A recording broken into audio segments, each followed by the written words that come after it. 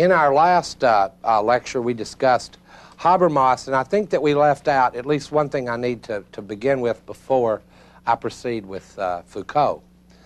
And that's uh, Habermas's view of the self as a thoroughly social being that is the interaction of the natural world, the social world, and the inner world of, of human, as it were, suffering, sympathy, a subject entwined in desire. Those are the three dimensions to subjectivity that Habermas discusses, and he sees each one as challenged in the late 20th century. And so I wanted to add that to maintain our subject under siege theme. Habermas's account that, I, that I've just finished is, uh, as, as it were, one of the more optimistic accounts, if you will use a, a word that simple. It's one of the more optimistic accounts.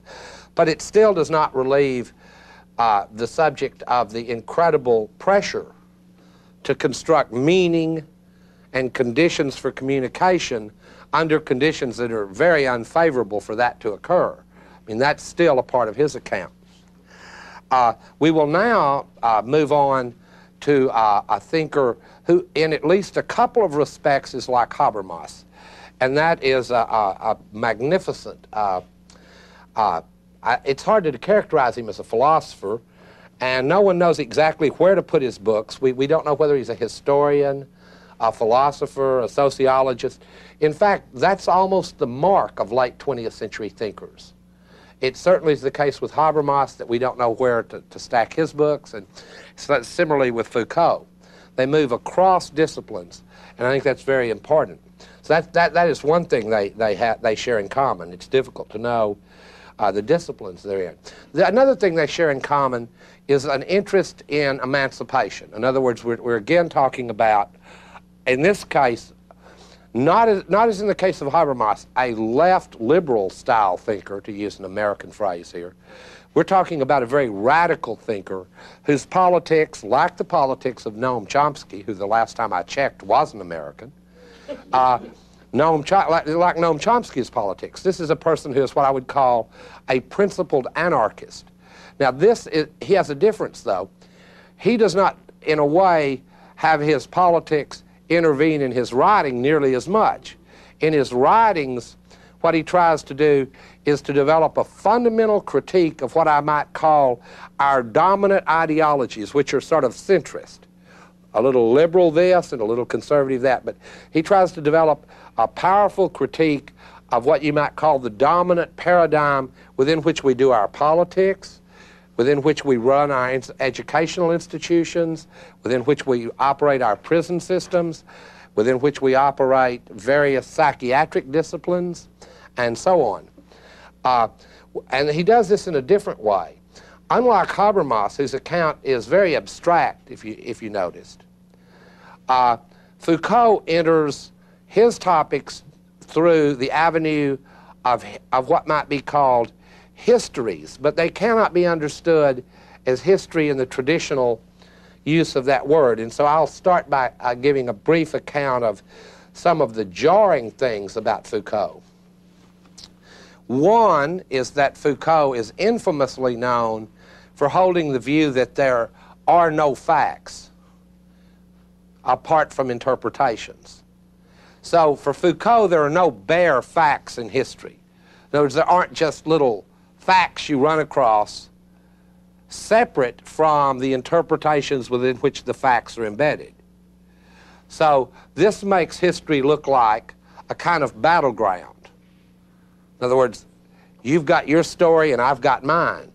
As a matter of actual historical practice, when you read historians, I don't think this is a bad description of the way they actually work.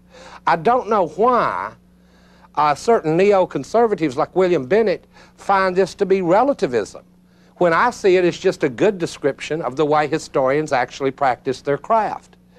And it's not a simple minded thing like everyone has an axe to grind. It's not like you don't get surprised, even based on your own interpretation.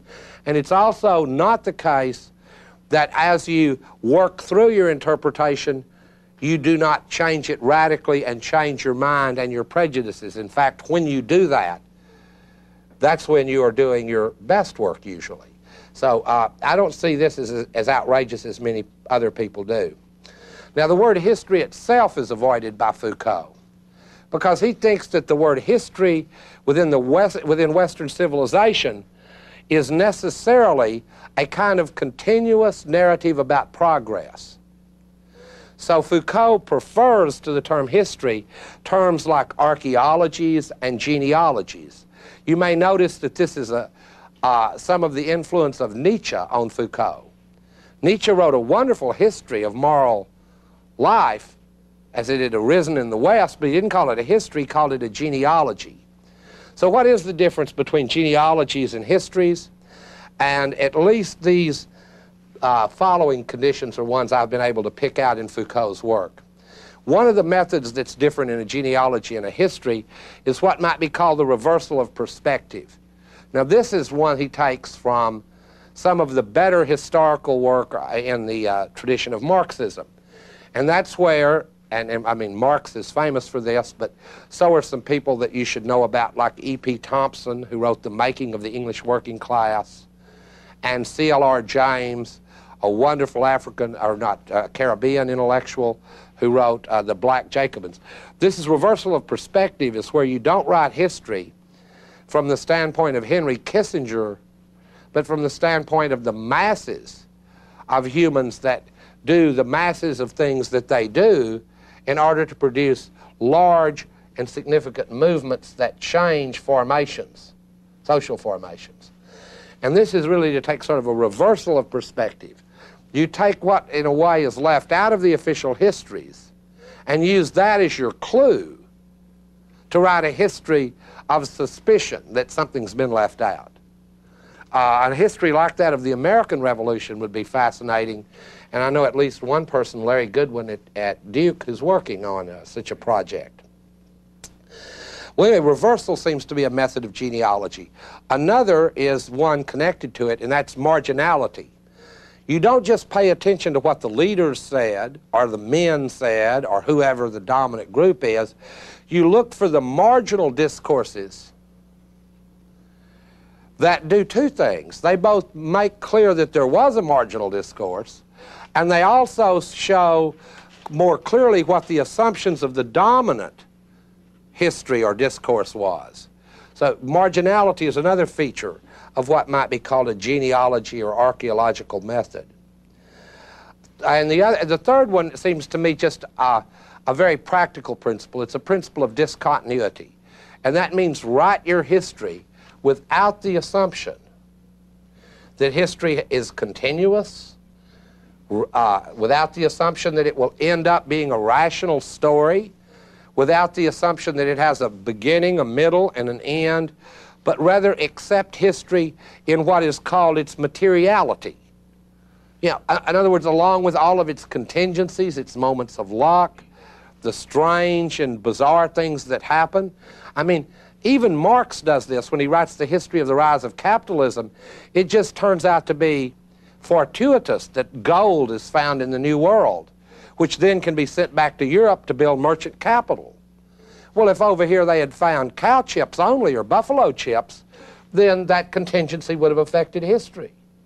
And that seems to me to just be not something that could have been predicted by a rational narrative. They happened to find gold, you know. So don't assume that there will be, as it were, a telos. And this is deeply embedded. Telos means goal. I mean, it's, or purpose.